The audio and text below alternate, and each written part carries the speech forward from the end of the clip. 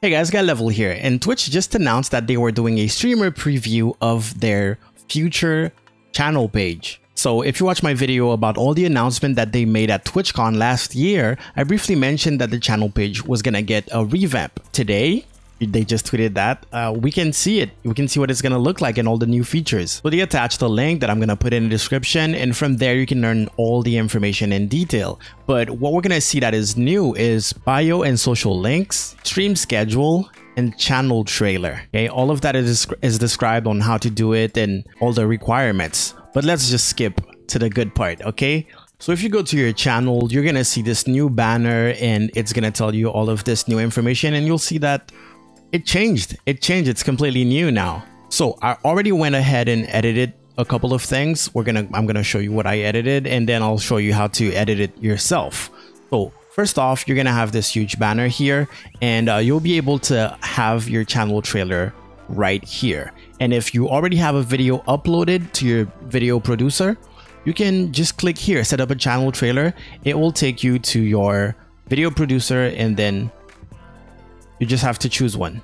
Now here's the thing, there are some requirements, this is why this page is kind of important to read. The trailer must be less than 60 seconds, so if everything you have uploaded here is more than a minute, uh, you're not going to be able to set it up as a channel trailer, you might have to edit one. Then if you click here, there will be an offline. Check out this just chatting stream from two months ago, and it's basically going to offer a VOD, going to offer another VOD, and then we're back to the channel trailer. Okay, so if we scroll down, you'll see the profile picture, the name, the number of followers, and this is the home page. So here you have recent broadcasts, you see the recently streamed games, or just categories, and then the streamers that you suggest. Okay, so if we click on the next tab, it's gonna be the about. Here you will see that the bio that you used to have for mobile, that would only show on mobile, actually shows up on the website now. So profile picture, number of followers, about, your Twitch name, and then your bio shows up here, right? But you also have a bunch of links for your social media. In that case, I have my Instagram, my YouTube, my overlays, that's my gumroad.com slash level, and then my Twitter. Keep in mind, I'm gonna show you all of that later on. I'm gonna show you how to add all of that, okay? Uh, and then your panels actually show up here. The thing that's cool is that since you have a bio here, you may not need an about me panel anymore. You can just add your normal panels without the about me since this is the part that kind of forces you to write something about yourself. I do stream reviews and I'm tired of telling people that they should introduce themselves. Well, Twitch is basically forcing you to do it now. That's good. Okay, those are my normal channels plus the extension. Um, let's go to schedule. What does the schedule tab look like? So once you set up your schedule, it will tell you in bold here, hey, next stream is gonna be in that amount of time. I only set up my one stream review here. Normally there's a little icon that will show up with the well with the categories icon. In my case, this is just chatting, but for some reason it's not showing here. Uh, it should be showing for you. Something to keep in mind is that I tried that on my bots account and it did not work. I did not have the new profile on my bots account. Maybe because it's not affiliated or maybe because I haven't streamed on that bots account for a while. Uh, anyways, let's move on and then we have videos. So that's the VODs, the highlights, the clips, and all videos. And then if you click on chat, basically it will bring you to the main channel where you'll be able to visualize the offline screen and kind of like the, the old Twitch but with the bio added plus the social media links. And as it said here, your profile image can take you home. So if you click here, it brings you back home. So here it's announcing that there's this new thing, customize your Twitch channel. So if I click on it, it's gonna bring me to my customized page basically custom but you may not have this especially if you're watching this in the future what you have to do to join your channel settings is go to creator dashboard once you're in your dashboard you're to click on that little menu here go under preferences and click on channel. This is the page where you set up all of that, okay? So scroll down, the accent color, you should know about it by now, but that's fine. Your offline image is gonna be that video player banner. And then here you have channel trailer. I haven't set it up yet because I need to upload a set channel trailer to my um, video producer on Twitch. But this is where you would basically choose the video. It'll bring you to a list of all of your uploaded videos. It will not allow you to upload directly to the channel trailer. It has to be uploaded through your video producer. And here you have social links. So this is how I set it up. Um, once you first come here, it's you're not gonna have any links, obviously, and you will have this add button, and all you would have to do is enter the text that you want to show.